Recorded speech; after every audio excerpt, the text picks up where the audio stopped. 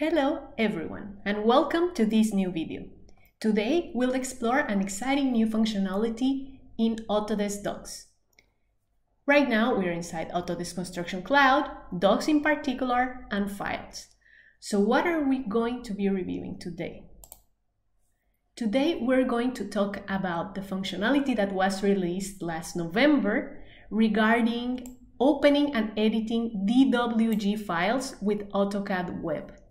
So this is really exciting because in the past, whether it was BIM 360 or Autodesk Construction Cloud, you could only view files and then if you wanted to make edits, you have to download, edit, and re-upload the file. So this is the first time that there is an actual editing functionality within the system.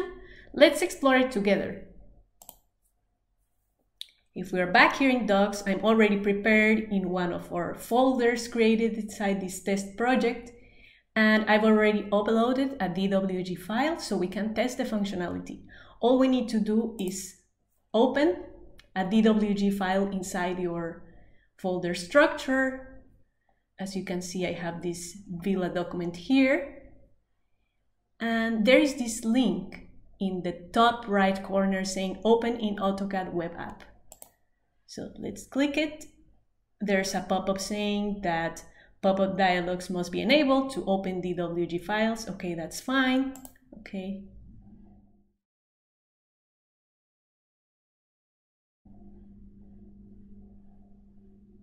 So this is taking us to AutoCAD website.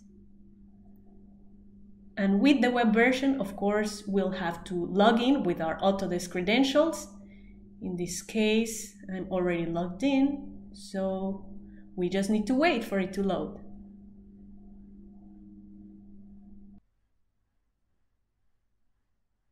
Okay, so we are here in our AutoCAD file in the web version. We can see the same elements that we have like our pool, our lines, okay, layers.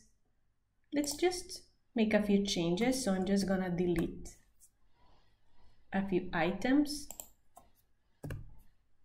to test this editing functionality in Autodesk Docs. Okay, I think that's fine. Maybe we can move this table. Okay, let's say that these are the changes we wanted to make. Now we can go on and save. I think that's it. So once we did the changes that we wanted to do and we saved the file,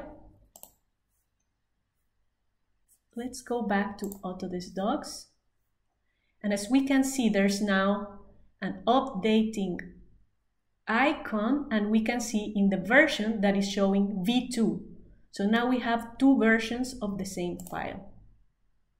If I click here, I can see the previous version and the new version, the time I've updated it, and let's open it again just to make sure that our applied changes from the web version are there.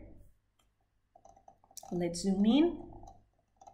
Yes, isn't this exciting, guys? So now you can open DWG files from the AutoCAD web app using your same username and password you use for Autodesk Docs in your AutoCAD web app. Look, here are the changes. We deleted these styles and we moved the table. So this is really exciting. Now let's do a small exercise to make this more interesting. We already opened our DWG file in Autodesk Docs. We edited it via the AutoCAD web app and we, now we have two versions of the file. So if we open our DWG again, any of the two versions, and we go to this top right corner and click compare, we can choose our two files, version 1 and version 2, to compare. So let's do that and click compare and we can see with color exactly what was changed. So in blue color, we have the changes, the, the things that existed in version 1, but I deleted for version 2, like these three tiles. And we can also see the movement of the table.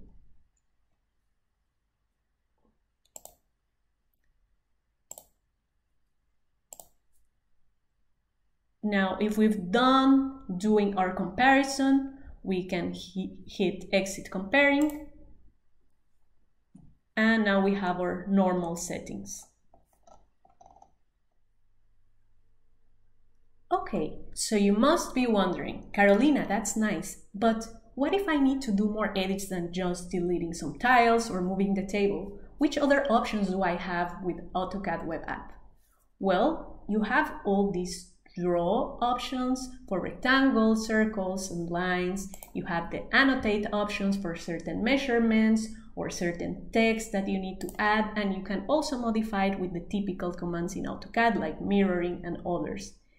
So remember that there's also the command line, which is very powerful and you also here have snapping and polar and some of the most known features of AutoCAD.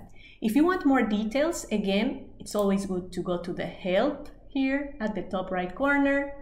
If you go to the help, you will find this detailed AutoDesk AutoCAD Web help menu.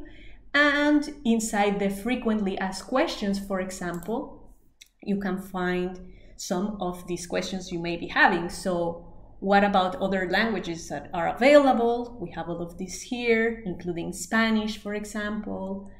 Also, uh, what if I repeat the last commands? What happens with my license? Basically, if you have an AutoCAD or AutoCAD LT uh, license, you're subscribed to it in the desktop version, you should have access to the uh, AutoCAD web app but anyways, you can check with your reseller any questions that you have regarding licensing and how to have access to it. Again, it's very important if you're a student, for example, um, that mentioning here? Can I use the editing tools if I have a student license? So the web app is included with your Autodesk Education license, so take advantage of that if you're a student.